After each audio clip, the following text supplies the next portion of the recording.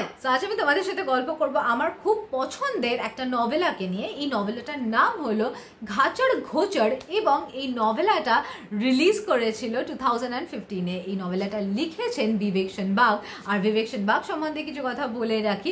বিবেক সেনবাগ একজন কর্নাড রাইটার এবং উনি পেশায় একজন ইঞ্জিনিয়ার। উনি নভেলা, নভেল, প্লে, স্টোরিজ এই সমস্ত লিখে থাকেন। এবারেতে চলে আসছি এই বইয়ের ইংলিশ ট্রান্সলেশনে। এই বইটাকে ইংলিশেতে ট্রান্সলেট করেছিলেন শ্রীনাথ পেরুর এবং শ্রীনাথ পেরুর একটা অসাধারণ কাজ তো করেইছিলেন এবং দু হাজার আঠেরো সালে এই বইটার বাংলা ট্রান্সলেশন বেরোয় এবং তখন এই বইটাকে বাংলায় ট্রান্সলেট করেন অরুণাব সিংহ এবং এই বইটা প্রকাশিত হয় পত্রভারতী থেকে। সো আমি পার্টিকুলারলি বইটার ইংরেজি ভার্সনটাই কিনতে গিয়েছিলাম but the shopkeeper told me the English version of this book is not available right now but they have the Bengali version of this book so I the Bengali version and I am totally satisfy with the Bengali version of this book there is a reason why যে এই বইটাকে অরুণাভ সিংহ খুবই সুন্দরভাবে translate করেছেন, সাহিত্যের একটু মজা কোথাও হারিয়ে যাচ্ছে না, বইটাকে অপূর্বভাবে ট্রান্সলেট করা হয়েছে। এবারেতে চলে আসছি এই বইয়ের ভেতরে আছেটা কি? আর এই বইয়ের নামটা এরকম উদ্ঘট কেন? এই বইটার নাম ঘাচর ঘোচর, এই কারণে ঘাচর ঘোচরের বেসিক্যালি পার্টিকুলারলি কি কোনো মিনিং আছে? দেখতে গেলে না, নেই। বাট ঘাচর ঘোচর মানে কি? এই বইটা অনুযায়ী, এই বইটা অনুযায়ী ঘাচর ঘোচরের মানে হলো কোনো জিনিস জট পাকিয়ে যাওয়া। আর জট পাকিয়ে গেলে সেই জিনিসটাকে খোলা যায় না। খুব বাজেভাবে জট পাকিয়ে গেলে ঘাচর ঘোচর বলা হয়। সো এটাই এখানেতে বলা হয়েছে। আর এটা সেই হিসাবে দেখতে গেলে কিন্তু একটা সাইকোলজিক্যাল ফ্যামিলি ড্রামা বলতে পারো। এইবারেতে এই বইটা পড়ে আমার কেন এত ভালো লেগেছে? বেসিক্যালি বইটা কিন্তু বেশি বড় বই নয়।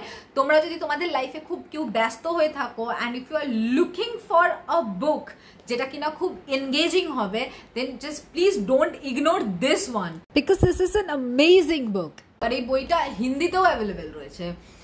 সো এবারে তো চলে আসি এই বইটার ভেতরে কি আছে। দেখো, গল্পটা তো তোমাদের আমি বলে দিতে পারব না এখানেতে। তো আমি একটুখানি বলি যে স্টো প্লটটা কিসের ওপরে? সো এখানেতে দেখানো হচ্ছে একটা ফ্যামিলিকে এবারে সেই ফ্যামিলিটা একটা টাইমে খুব গরিব ছিল এবং পরবর্তীকালে এরা একটা মশলার দোকান বানায় এবং মশলার দোকানটা বানিয়ে বেসিক্যালি এদের খুব লাভ হয়। দোকানের থেকে কথা, এটা মশলার ব্যবসা করে। এবার সেই ব্যবসাটা করে এদের খুব লাভ হয়।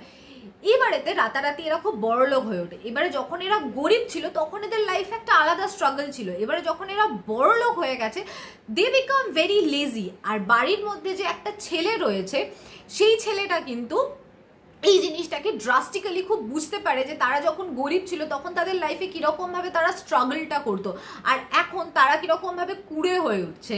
বাড়ির একটাই মেম্বার রয়েছে যে এই বিজনেসটাতে সব থেকে বেশি ফোকাস হয়ে রয়েছে, তার উপরেই বাড়ির প্রত্যেকটা মেম্বার কীরকমভাবে ডিপেন্ডেন্ট হয়ে রয়েছে সেটাই এখানেতে দেখানো হচ্ছে। এখানে অনেকগুলো ক্যারেক্টারকে দেখানো হয়েছে এবং প্রত্যেকটা ক্যারেক্টারকে খুব সুন্দর করে দেখানো হয়েছে। কারণ এই যে এই বইটাতে কেন আমি বলছি ক্যারেক্টারগুলোকে খুব সুন্দরভাবে দেখানো হয়েছে? প্রত্যেকটা মানুষ যে কোনো না কোনো জায়গায় গিয়ে দাঁড়িয়ে খারাপ হয়। এবং খারাপ হওয়া সত্ত্বেও তাদের ভিতরে কিছু ভালো থাকে। আবার কিছু মানুষ খুবই ভালো হয়, কিন্তু ভালো হওয়া সত্ত্বেও তাদের ভিতরে কিছুটা খারাপ থাকে। এই বইতে একটা গোটা ফ্যামিলিকে দেখানো হচ্ছে এবং প্রত্যেকটা ফ্যামিলির লোকজনের ক্যারেক্টারিস্টিক্স কিন্তু খুবই আলাদা। এইবারেতে সেই আলাদা আলাদা ক্যারেক্টারিস্টিক্সগুলোকে এখানে যেরকমভাবে বোঝানো হয়েছে, সে জিনিসটা কিন্তু অসাধারণ। মানে আমি সিরিয়াসলি তোমাদেরকে বলছি বইটা তোমরা পড়ো, পড়লে বুঝতে পারবে যে কেন আমি এই বইটাকে এতটা প্রেস করছি। দেখো, এবারে এই বইটার এন্ডিংয়েতে চলে আসি। এন্ডিংটা কিন্তু একটা ওপেন ইন্টারপ্রিটেশন তোমরা তোমাদের মতন করে ইন্টারপ্রেট করতে পারবে। একটা বই, এই বইটার ভেতরে যে জিনিসটা আমার খুব ভালো লেগেছে, প্রথম কথা, এই জিনিসটা দেখিয়েছে, একটা কথা এখানেতে লেখা আছে আমরা টাকাকে নয়, টাকা আমাদেরকে চালায়। যখন মানুষ কেউ বড় লোক হয়ে যাচ্ছে, তখন দেখাচ্ছে কি যে তারা আননেসেসারিলি জিনিসপত্র কিনছে, যেটার হয়তো কোনো প্রয়োজনও নেই। হ্যাঁ পাওয়ার আছে তো আননেসেসারিলি সেই পাওয়ারটাকে ইউজ করছে, কাউকে ডমিনেট করবার জন্য বা কাউকে তার নিজের জায়গাটাকে দেখাবার জন্য। বাট সেটা কি এক কথায় দাঁড়িয়ে সে ঠিক করছে? না এবারেতে ফ্যামিলির একজন কেউ এরকম এখানে দেখানো হয়েছে। I really don't want to give guys the spoiler তাই কোনোভাবে নাম নিচ্ছি না। তো এরকমভাবে দেখানো হচ্ছে, কেউ একজন রয়েছে যে বুঝতে পারছে যে এই জিনিসগুলো কিন্তু ঠিক হচ্ছে না। বাট তবুও তাকে তার ফ্যামিলিকে ফ্যামিলির পাশে দাঁড়াতে হবে। ভুল হোক বা খারাপ হোক, সে তার ফ্যামিলির পাশে দাঁড়িয়ে রয়েছে। এবারেতে আসে ফ্যামিলিতে কেউ একটা একটা কোনো রেবেল এবারে সেই রেবেলটা কিন্তু ফ্যামিলির প্রত্যেকটা মেম্বারকে কোয়েশ্চেন করছে। এবারেতে এই যে রেবেলের ক্যারেক্টারটাকে দেখানো হয়েছে না এখানে? সেই রেবেলের ক্যারেক্টারটাকে নিয়েও কিন্তু তোমার মনে কোয়েশ্চেন উঠবে। অনেক রকমের কোয়েশ্চেন উঠবে।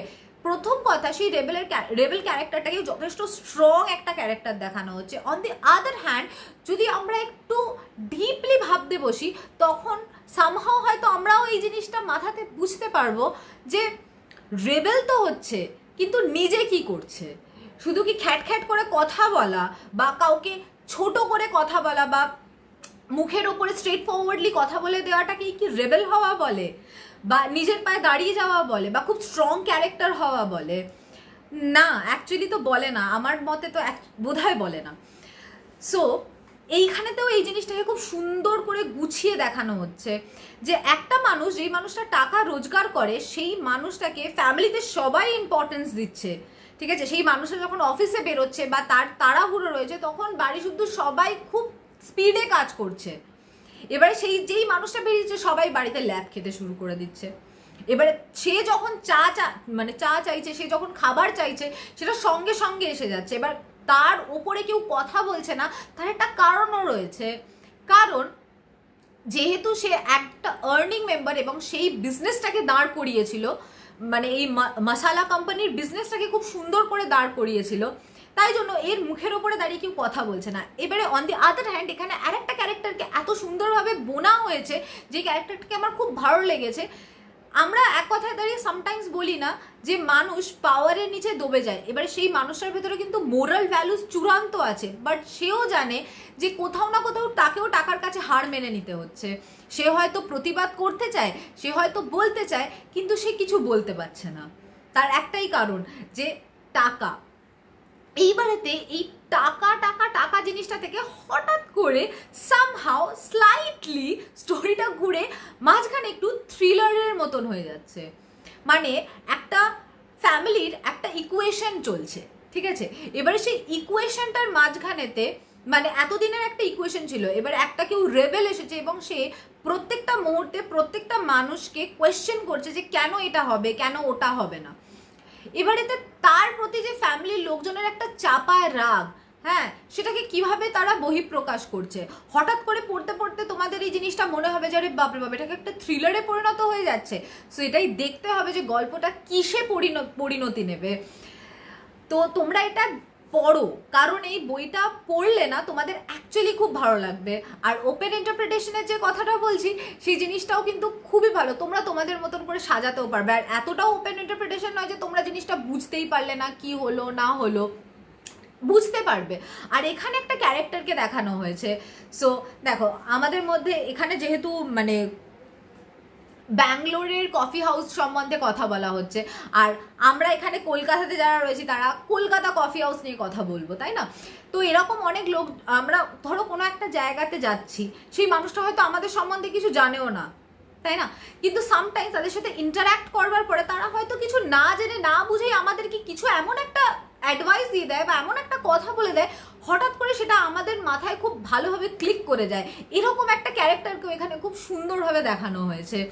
বেসিক্যালি দেখতে গেলে কীরকম লাগে যারা কোথাও কাজ করছে, হোটেলে কাজ করছে বা কোনো ক্যাফেতে কাজ করছে, এরা বেসিক্যালি লোকজনকে খুব ভালোভাবে বোঝে। এরা বুঝতে পারে যে একটা কোয়েশ্চেন কীরকমভাবে মানুষ তার কাছে আনতে পারে বা এই মানুষটার মনের ভেতরে কি চলছে, মানুষটা ঠিক আছে না মানুষটার ভেতরে ভালো লাগা আছে কি খারাপ লাগা আছে কি দুঃখ রয়েছে মানে এত মানুষ দেখতে দেখতে না তাদেরও একটা এক্সপিরিয়েন্স এসে যায় এবং সেই এক্সপিরিয়েন্স থেকে তারা এত সুন্দর করে কথা বলতে শিখে যায় যে সেই কথা বলাটা আমাদের কাছে একটা অ্যাডভাইসের মতন হয়ে দাঁড়ায়। সো এরকম একটা ক্যারেক্টারকে এই বইটাতে খুব সুন্দর করে দেখানো হয়েছে। To be very honest with you এই বইটা সম্বন্ধে আমি যতই ভালো বলব, ততই হয়তো কম থেকে যাবে। তো তোমরা এই বইটা কেনো, এই বইটা পড়ো? বইটা বাংলা ভার্সনটাতে তো মোটে একশো উনিশটা পাতা রয়েছে। ইজিলি পড়ে নেওয়া যায়। একেবারেতে ইজিলি তোমরা পড়তে পারবে। বইটার দামও বেশি নয়, দুশো টাকা দাম। কলেজ স্ট্রিট থেকে কিনলেও হয়তো ডিসকাউন্টও পেয়ে যাবে তোমরা।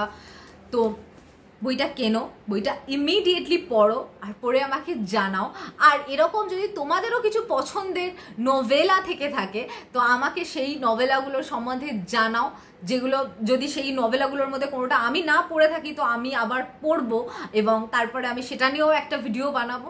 সো প্লিজ আমাকে জানাও যে তোমাদের ফেভারেট নভেলা কি এবং কেন কমেন্ট সেকশনেতে সো আজকের জন্য এইটুকুনি।